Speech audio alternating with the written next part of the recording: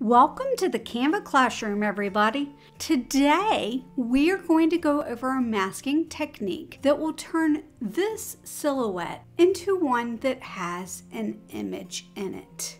Let's get started. Instead of using this size, I'm actually going to open up a new project for this, and I'm just going to make it square.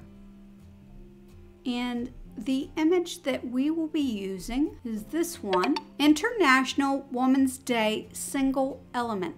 We're going to make her larger. And the second element I'm going to grab is this one, and it is called Yellow Round Shape. We're going to make the yellow round shape cover up the woman, and then right click, send it backwards. The first color will remain white and I will change the top element to white as well.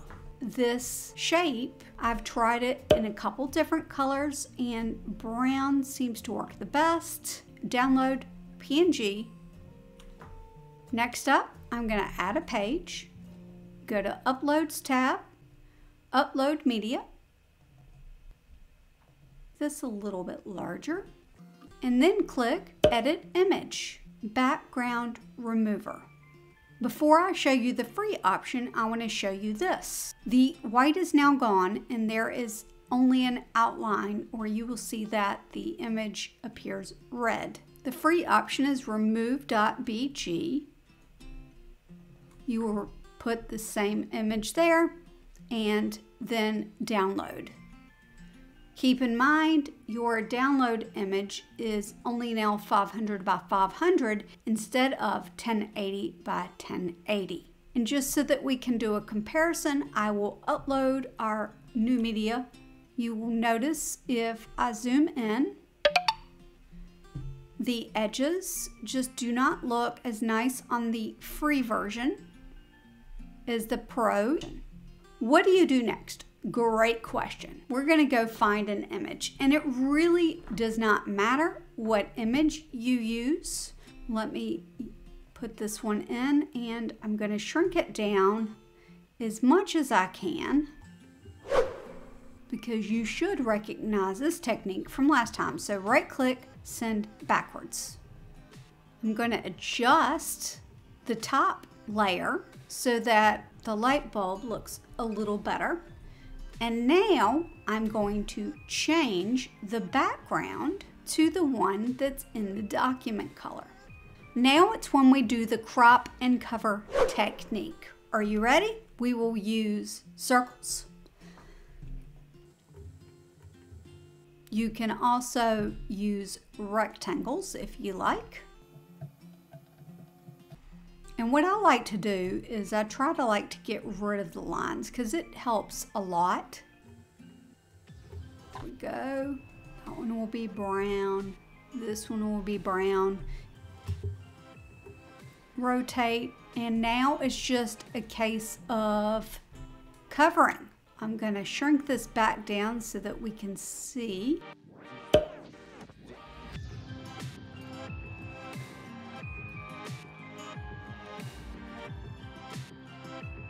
And here's the thing, once you have one like this where everything's covered, you can actually put in different images if you want to change your mind later.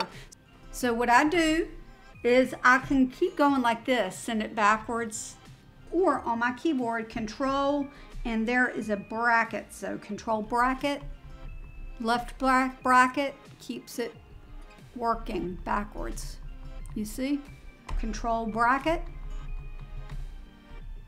you can even take it to where it would cover up part of the image in the background like that. So now what do you do? You've got all this stuff, you're gonna download it. So download PNG.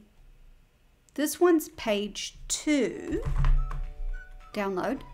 And now you can take that one and in any design, right? So here's a different design.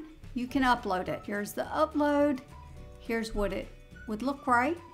I'm hoping that this one works since it is a slightly different brown. Edit image, remove background, apply.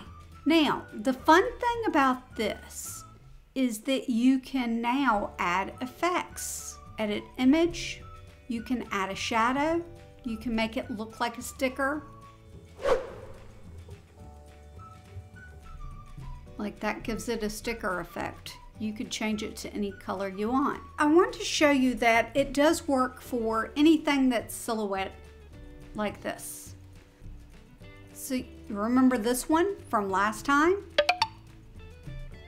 I will try this one. I'm just gonna go ahead and download it and we'll see if it works.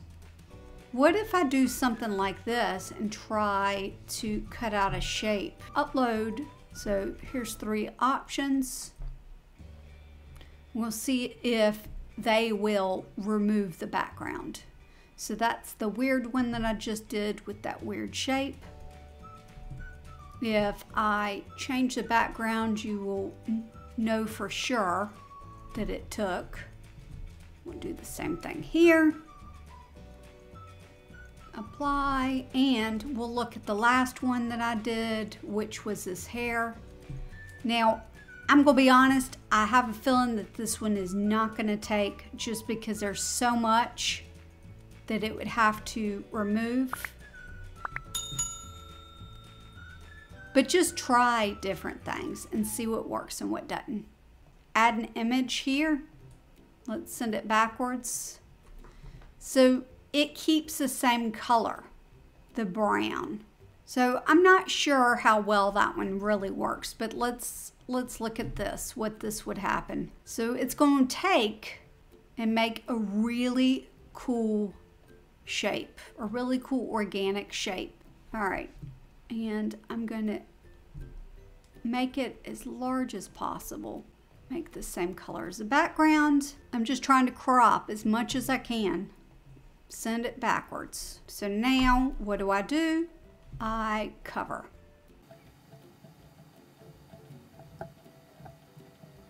You just keep duplicating, keep rotating until you cover all of these edge lines. I clicked R. You see how that cool blob looks? What if this was there? Control, bracket. I like that one better. Control paper bag. But do you see you can come up with a whole bunch of different things. I, I absolutely love it. And when you download it, you would re-upload it and do what we did here. Well, that's all I have for you today. If you enjoyed this tutorial and want to see more like it, then make sure you subscribe and like and comment and do all the things. And I'll see you next time. Bye.